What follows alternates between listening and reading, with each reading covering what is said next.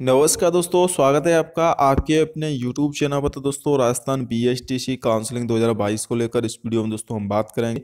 और इसी के साथ दोस्तों, आपकी कॉलेज की सीटें भी बढ़ा दी गई हैं। दो नई कॉलेज यहाँ पर बढ़ाई गई हैं दोस्तों। पहली लिस्ट में दोस्तों, आपको कितनी कट ऑफ़ देखने को मिलेगी? चार दिसंबर के आसपास पहली list Rajasthan B S T C की जारी होने वाली है। तो चलिए आपका ज़्यादा समय ना लेते हुए दोस्तों वीडियो स्टार्ट करते हैं। उससे पहले आपसे छोटी सी रिक्वेस्ट है, अगर आपने चैनल को सब्सक्राइब नहीं किया है तो चैनल को ज़रूर सब्सक्राइब कर लेना ताकि बी की दोस्तों लेटेस्ट अपडेट सबसे पहले आपको चैनल के माध्यम से प्राप्त हो सकेगी। तो दोस्तों दो नए डी कॉलेज शुरू होंगे। जिन्होंने अभी काउंसलिंग कराई है दोस्तों, उनको नहीं पता होगा कि दो नए डी कॉलेजों को इसमें जोड़ा गया है। तो आप इन कॉलेजों को भर सकते हैं अगर आपने अभी तक तो काउंसलिंग नहीं कराई है। राज्य में 325 ज़्यादा diploma in elementary education D El Ed college हैं, लेकिन इनमें केवल बत्तीस ही सरकारी कॉलेज हैं। ऐसे में अब बीकानेर और अजमेर में दो नए डीएलएड सरकारी टीचर ट्रेनिंग कॉलेज शुरू करने में सरकार ने मंजूरी दे दी है। राष्ट्रीय अध्यापक शिक्षा परिषद नई दिल्ली द्वारा राज्य में संचालित राज्य के उच्च अध्ययन शिक्षण संस्थान आईएएस बीकानेर व अजमेर में डीएलएड पाठ्यक्रम संचालित करने की सरकार ने मंजूरी दे दी है। तो ऐसे में दोस्तों, अब डीएलएड के दो नए कॉलेज और जोड़े जाएँगे, जो इसी में दोस्तों आपके इसी वर्ष जोड़े जाएँगे।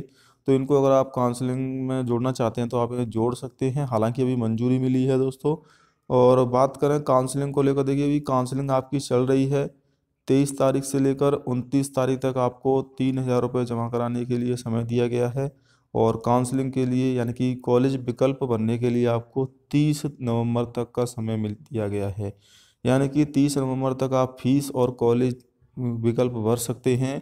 बात करें दोस्तों Rajasthan B S T C की, यहाँ पर टोटल सीटों के बारे में तो देखिए पच्चीस हज़ार चार सौ बीस सीटें हैं और पाँच लाख तैंतीस हज़ार विद्यार्थियों का रिज़ल्ट घोषित किया गया दोस्तों छः छः लाख के आसपास विद्यार्थियों ने फॉर्म भरा था, पाँच लाख तैंतीस हज़ार ने एग्ज़ाम दी थी। तो इनमें से काफ़ी सारे स्टूडेंट काउंसलिंग नहीं कराएँगे, लगभग एक लाख विद्यार्थी ऐसे होंगे जिनके नंबर बहुत ही कम होंगे, तीन सौ से भी कम होंगे या दो सौ के आसपास होंगे तो वो काउंसलिंग नहीं कराएँगे बच्चे, चार लाख विद्यार्थी ही काउंसलिंग कराएँगे। और चार लाख विद्यार्थियों के दोस्तों, यहाँ पर पच्चीस हज़ार चार सौ बीस सीटों में से कट ऑफ़ के आधार पर उनको कॉलेज दी जाएगी। तीन लिस्ट आती हैं कम से कम ज़्यादा से ज़्यादा पाँच लिस्ट आती हैं दोस्तों। यहाँ पर हम बात कर लेते हैं सबसे पहले कट ऑफ़ के बारे में। देखिए बी एस टी सी की जो कट ऑफ़ रहेगी दोस्तों, पहली लिस्ट की, वो कुछ इस प्रकार से रहेगी। जनरल में आपकी कट ऑफ़ यहाँ पर 400 से 430 तक जाएगी। पहली लिस्ट की कट ऑफ़ है दोस्तों, दूसरी लिस्ट में बीस अंक कम हो जाएगी। ई डब्ल्यू एस की 370 से 400 के मध्य रहेगी। ओ बी सी फीमेल में और मेल में 380 से 400 तक रहेगी। मेल फीमेल दोनों की कट ऑफ़ बता रहा हूँ दोस्तों। एससी कैटेगरी की मैं बात करूँ 340 से 380 और यहाँ पर बात की जाए एसटी में तो 310 से लेकर 360 तक कट ऑफ़ आपको देखने को मिलेगी एसटी कैटेगरी में। तो इस प्रकार से आपकी दोस्तों एक्सपेक्टेड कट ऑफ़ है, इसमें 10 नंबर कम ज़्यादा हो सकते हैं, इससे ज़्यादा अंतर आपको देखने को नहीं मिलेगा, यानी कि इसके अगर आसपास नंबर हैं आपके तो आपको बीएसटीसी की पहली लिस्ट में ही कॉलेज मिल जाएगी। इस बार पेपर का जो लेवल आया था, उसके हिसाब से रिज़ल्ट भी दोस्तों ज़्यादा हाई नहीं रहा है।